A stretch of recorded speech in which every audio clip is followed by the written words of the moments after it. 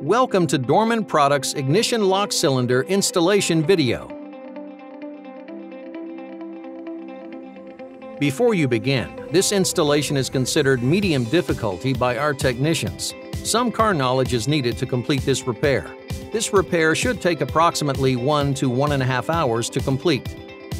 Warning: This vehicle uses a pass-key theft system. Be sure to take the old key and new key that came with this lock cylinder to the parts store.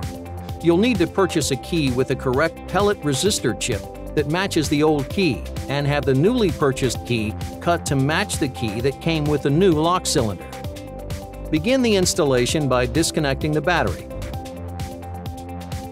Next, go to the base of the steering column to locate where the passkey sensor connector is plugged in and disconnect it.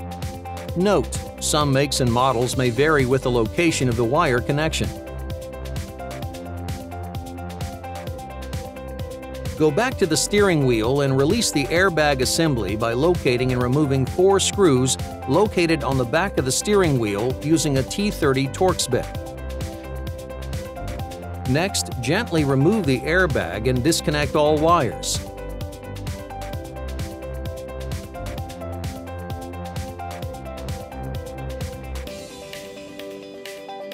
The airbag wire is equipped with a locking release tab.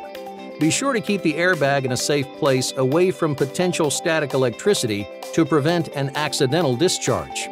Remove the steering wheel retainer nut. Then use a steering wheel puller kit to remove the steering wheel from the column. The alignment tab is at the top of the clock spring.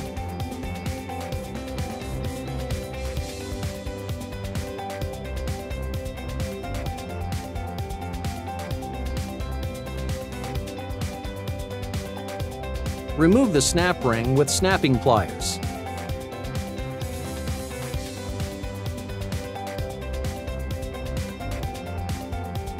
Next, remove the clock spring.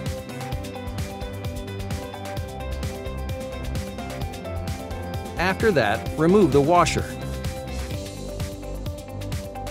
Use a compressor tool to depress the lock plate, exposing the C-clip. Next, using two 90-degree picks, work the C-clip off the locking plate.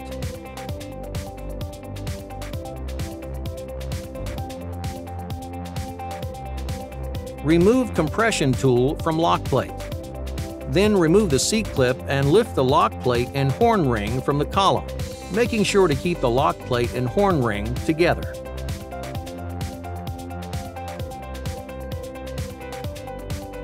Next, remove the multifunction switch and hazard switch and remove from column. There are several screws that will need to be removed. Remove the turn signal switch by removing three screws with a T20 Torx bit.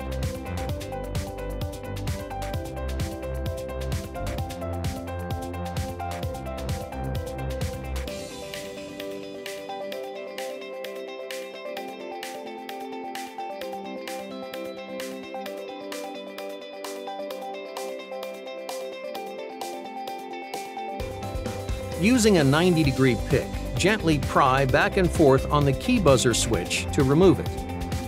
Next, remove the lock cylinder retainer bolt with a T20 Torx bit. After that, remove the lock cylinder wire retainer tab. Go back to the base of the steering column and securely tape a durable piece of scrap wire or thread about 3 feet long to the disconnected wire.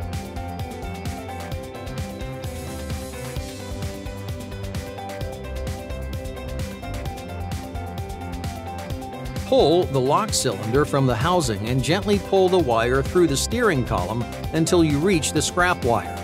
The scrap wire should extend through the ignition location, but do not pull the scrap wire all the way through the column.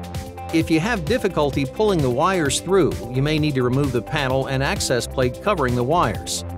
If you have a tilt column, lower it until it's straight to make pulling the wires easier.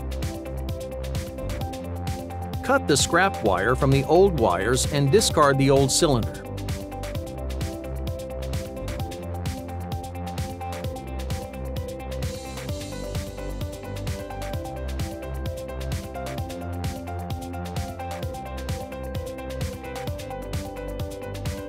Tape the wires from the new lock cylinder to the scrap wire and pull back down through the column.